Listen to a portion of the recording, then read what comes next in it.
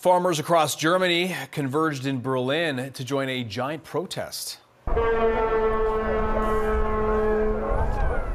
Some 3,000 tractors, 2,000 trucks, and an estimated 10,000 people crammed the avenue leading to Berlin's Brandenburg Gate.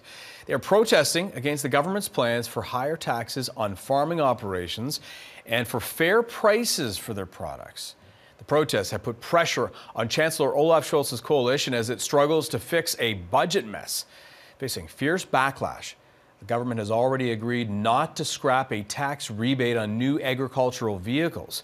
But farmers, with the vocal backing of the opposition conservatives and the far right, say this doesn't go far enough. Warum ist es? Hier geht es um die Zukunft der deutschen Landwirtschaft. Ich bin Jahrgang 66, mein Sohn ist Jahrgang 2003, befindet sich aktuell in der landwirtschaftlichen Auszubild in der Ausbildung. Und für ihn und für seine Kumpels bin ich heute hier und streiten dafür, dass wir auch in Zukunft noch eine deutsche Landwirtschaft haben und nicht, dass wir alles irgendwie aus den nächsten EU-Ländern oder aus Südeuropa oder Südafrika, Südamerika nach hierher importieren müssen. Es darf keine Sonderopfer geben, da stimmen wir überein. Aber alle müssen ihren Beitrag leisten.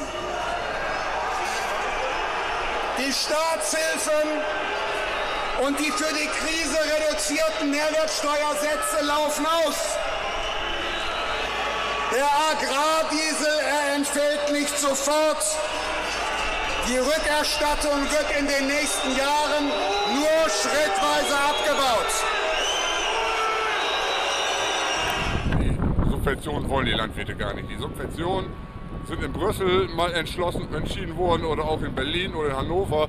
Die Bauern wollen faire Preise für ihre Produkte zu fairen Preisen und auskömmlich muss es sein. Weil Subvention, das hat immer einen Beigeschmack. Ich kann Ihnen, ich kann Ihnen heute nicht mehr staatliche Hilfe versprechen aus dem Bundeshaushalt. Aber wir können gemeinsam dafür streiten, dass Sie wieder mehr Freiheit und wieder mehr Vertrauen für Ihre Arbeit erhalten. Ich bin Jäger. Ich bin schon fertig, wenn ich den Pferdestall einmal ausgemistet habe. Deshalb weiß ich, was das für eine Arbeit ist, es den ganzen Tag und jeden Tag zu machen. Die Regierung hat es in der Hand.